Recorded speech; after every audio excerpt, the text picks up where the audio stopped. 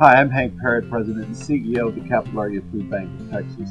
Hunger is the most urgent need in our community today, and that's why I'm going to pre-schedule my gift to the food bank through Amplify Austin. You can help too. We need to raise 300,000 meals in 24 hours, so we need your help. Thanks.